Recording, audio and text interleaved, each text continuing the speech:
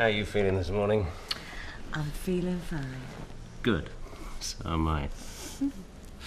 There's some coffee on. It'll be ready in a few minutes. And if you feel like some breakfast, No, coffee will be just fine. Then I'll have to get going. well, there's no rush, is there? No, but I've got to go home and change my clothes, and then I've got to get to the hourglass and open up. No. I phoned Kath at home this morning, told her to open up. Said you wouldn't be in till tonight. Huh? So, till then, the day's your own. Told you you're going to like working for me, didn't I? there you go. Stay in bed all morning if you feel like it. Sounds to me like a good idea. I don't believe this, Sam. They're still not there. Either that or they've gone completely stone deaf. Who? They're Malletts. I've been banging on their door, haven't I? Well, maybe they're having a lie-in. Or maybe they think you're the debt collector.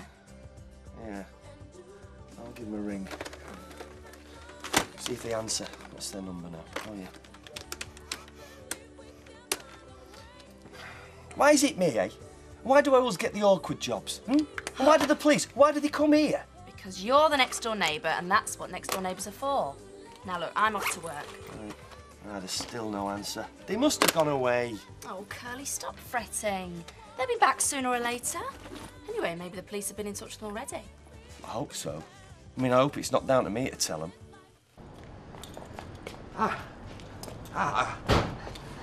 Kevin, lad. There you are. It does me heart good to see you working. I thought you'd be shut today. No such luck. Never stop these days, Alec. Ah, well, that's because you're your own boss, you see. It's a wonderful incentive. anyway, I'm here to put money in your pocket. Can you have a look at my car? Where is it? Well, it's, it's in the lockup. I can't shift the damn thing. It won't start. So if you could just have a walk round there, I'm sure you'd sort it out in no time. Yeah, well, that's exactly what I've got, Alec. No time. See this car here, and that one, and that one? They're all wanting attention, and I'm on my own. Where's my laddo? What's his name? Tony. Your guess is as good as mine. He's let me down again, hasn't he? I want to get a grip of him. Yeah, well, I mean, he knows how we fixed this war blinded being this morning, but he's not here, so what am I supposed to do? Send out a search party? Right. Ta-ra. Betty is poorly. Billy's sent her back to bed. Oh, that's great, that is. Joyce has let me down now, Betty. I mean, what we're going to do for bar food? You don't eat food with ale like this. Of course we do. Morning. Here, don't you be taking your coat off. Why, what? Because you're going out again. Betty's let me down. With no food for the bar, so I want you to go down to that freezer place, you know where Curly works. Firman's, but he doesn't work there anymore. Well, the shop's still there, isn't it? Now, look, they do them big packets of Cornish pasties. Get two of them. Uh, and some sausages, you know, a couple of bags of them. And chips, three or four bags. You know, you can do it microwave. Here, Jack, give her £30 out the till. I'm supposed to be working behind the bar, not go running errands. Flour.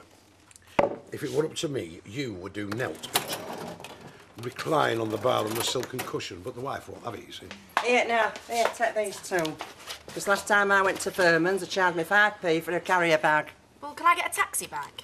Can you heckers like get the bus? Hey up, Jack. For you, son, I. Yeah. All right, well, give us a couple of pints then, eh? Right. Do you all look so miserable, Ashley? Well, how are your age? I used to walk about with a big smile on my face. What's up? Nothing. What is it, women's trouble? Ah, I will be at your age, cocker. I don't know what to do about Maxine. I just don't be seen getting anywhere. I don't know. Well, she's different from other girls. Have you ever heard out like her? Different. She's just the same as all the rest. If you want to get anywhere, flash your money about. That'll get her interested. That's what women want. Money spending on them.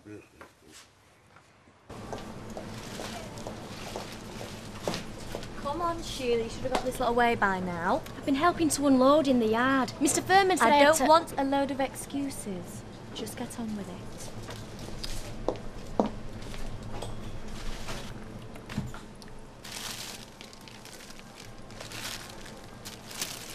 Well, I didn't expect to see you here today. No. Well, I'm not working till tonight, so. Anyway, you okay? Yeah. Anything happened? Mm, Like what? Don't know really. No, it's just like one day after another in here. I'd, yeah. Well, I just wondered if anybody had said anything to you about being moved somewhere else, that's all. Why are you saying that to me? I don't know, I'm just asking. Who's that guy talking to Jerry Turner? The horrible looking one. The, uh, They call him Dobbin when he can't hear 'em. Wouldn't fancy bumping into him on a dark night. Yeah, uh, Fraser used to call him his branch manager. Why? What's he got to do with Fraser Henderson? Well, he does things for him, you know, sorts things out if they need sorting. But uh, you don't argue with him, you know what I mean? So, have you uh, have you seen anything of Fraser since he got out? I can't help but see him. He's bought the hourglass, you know, the wine bar where I work. Oh, he has, has he? Well, must be as keen on you as he always made out to be. But his wife won't be happy. Fraser's married. Oh, yeah, of course he is. Has he never mentioned it?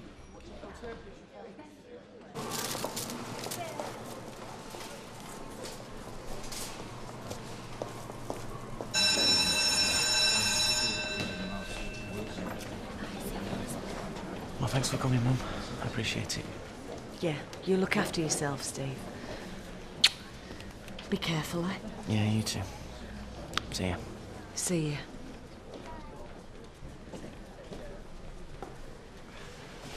Small world, isn't it? Young Steve looks well, considering. I've got the motor outside. Can I uh, drop you at the hourglass? No thanks. I've got my own car now. Ah, that's Fraser for you. He's a real soft touch to work for. Well, you know that, don't you? He's a great bloke. As long as you keep him happy.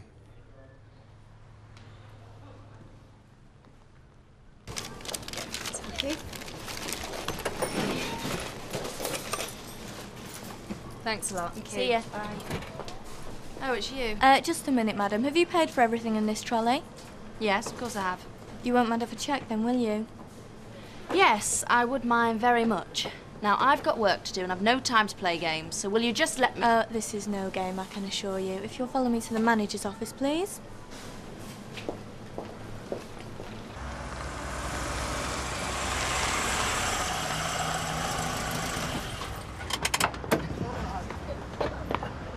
Hey, all right, Curly, you should have been with us last night, shouldn't you, Jude? Yeah, it were great. Hey, it done you good, just what you need. Yeah, we got smashed. You mean you did? Dancing on kitchen table at his pals, he were. It were great. We didn't come home, we slept at his. What a night, though, eh, Jude? Uh, listen, um, the police were here last night looking for you. Gary, what have you been up to? Well, no, uh, Jude, it was you that they were looking for, and they asked me if I see you, can you get in touch with them at the police station? Why, what's happened? Well, do were a bit cagey. Oh, come on, they must have said something. Well, yeah. Somebody was uh, knocked down by a car last night on Ashdale Road. A woman. It's my mum, isn't it? Well, they didn't say. Well, not to me anyway. It's mum. Why else would they want me? Gary, it's my mum.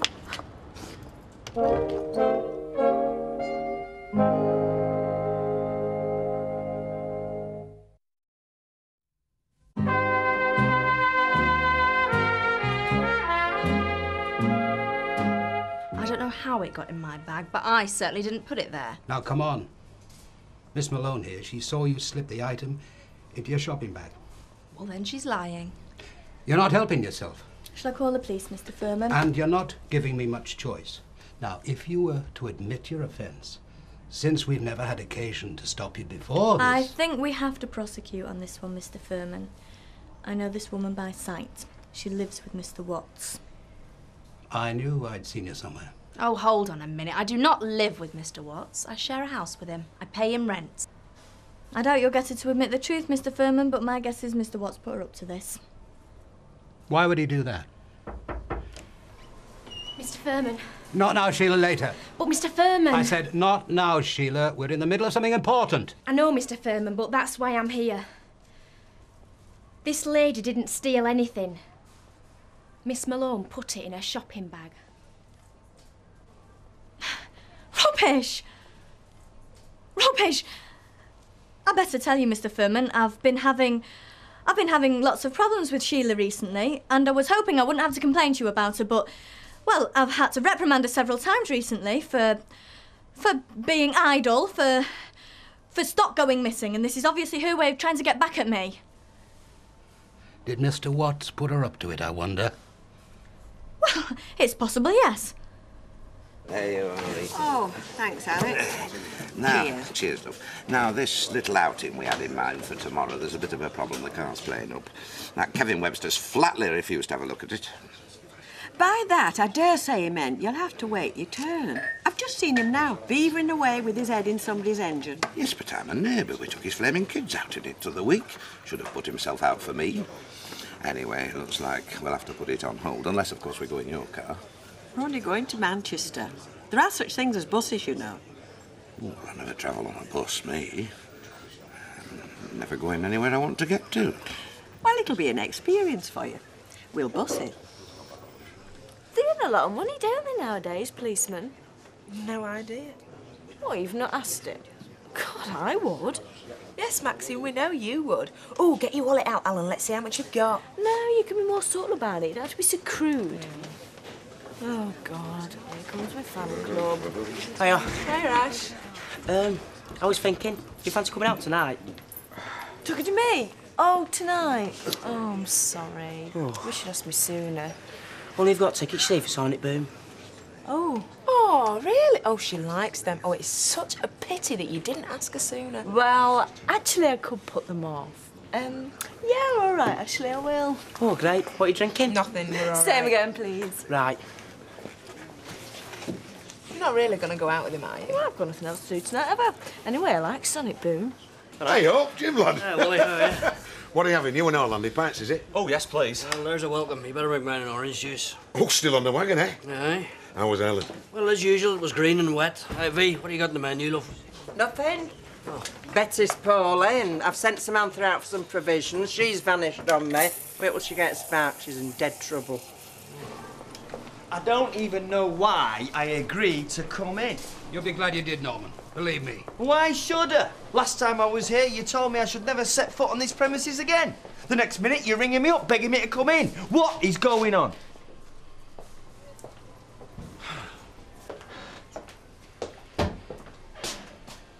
Something I very much wanted to be in on. After you. You would never have walked out on me if you'd. Sam, are you doing it? What is going on? I'll tell you. Miss Malone tried to fit this lady up on a phony shoplifting charge. That's not true, Mr. Firman. She tried to slip something into my bag, Curly. You don't seriously believe this woman, surely? I believe it. I know exactly what you're capable of. It doesn't have to be a question of belief or disbelief. Fortunately, we have a witness. Sheila Dixon saw Miss Malone slip the item in question into your friend's shopping bag. But the girl's lying, I told you, for reasons of her own. This is why I've asked you to come here, Norman. I want to apologize to you for believing what Miss Malone told me. And I want you to hear me say, Miss Malone, you're sacked as of right now. I want you out of the store within five minutes. You can't sack me. For one thing, you haven't given me a warning. It's, it's unfair dismissal. I'll take you to a tribunal, I'll get compensation reinstatement, and it won't do Firman's any good, will it? I'll give you a choice. I can fire you right now, and you can take your chance at a tribunal and in a police court, or What do you mean, a police court? I shall ask Miss Failsworth to make a formal complaint to the police. Sheila Dixon is a witness to what you did. Or there is an alternative. What? You can resign right now. I'll write you a glowing reference, and you can go quietly. If Miss Failsworth is willing, of course.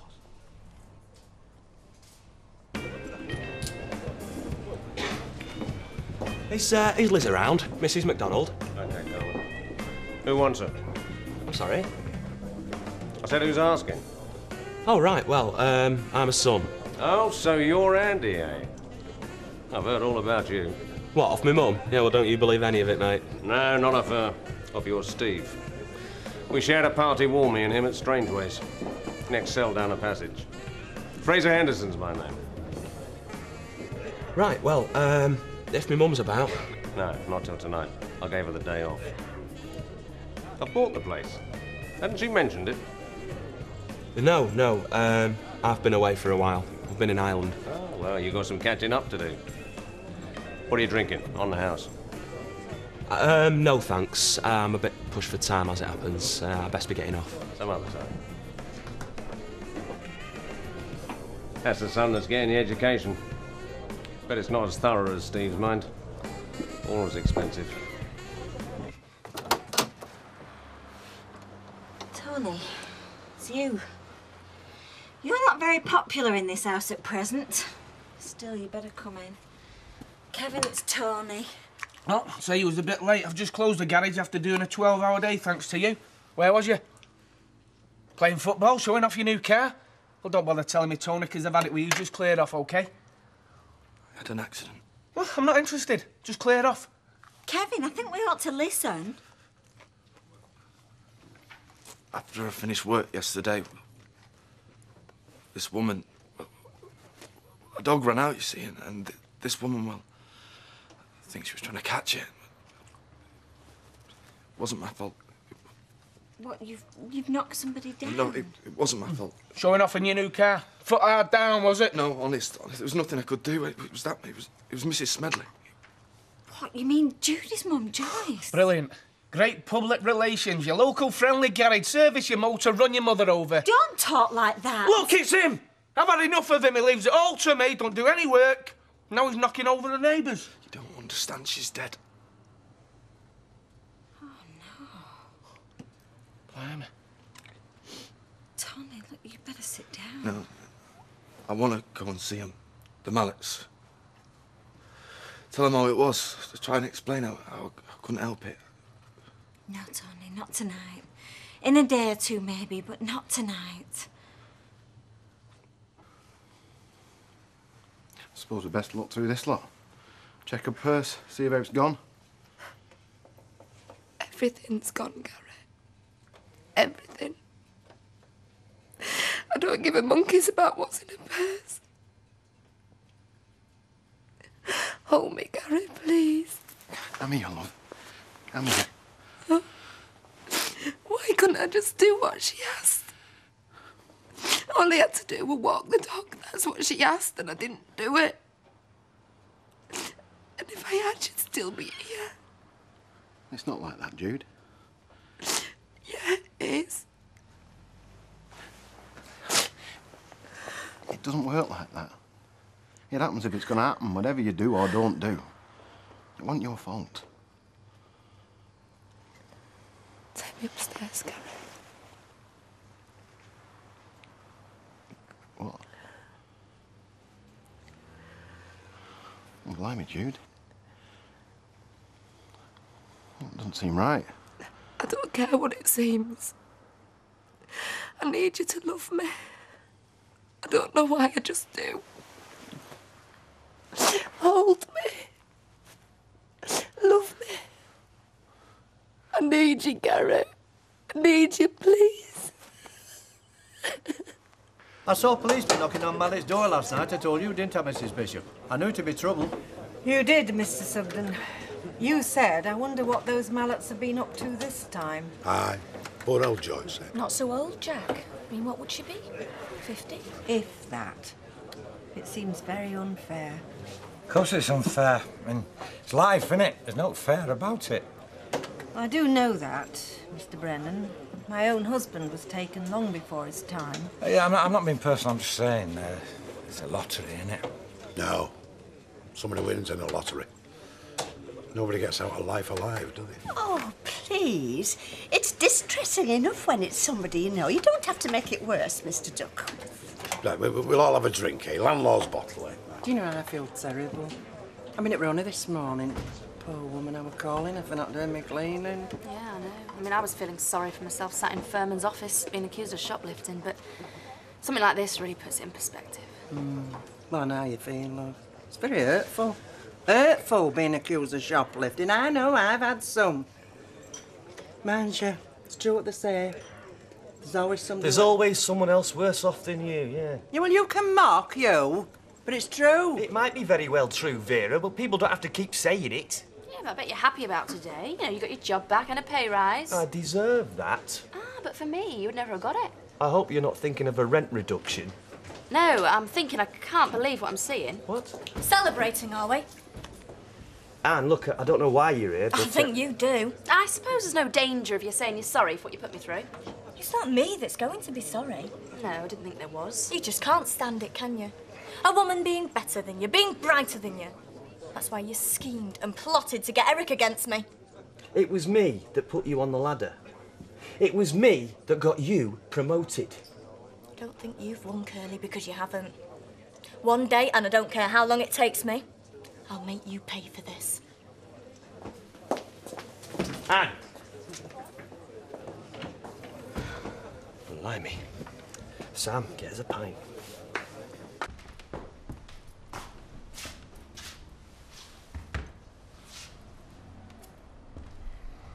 What's wrong, Liz? What's worrying you?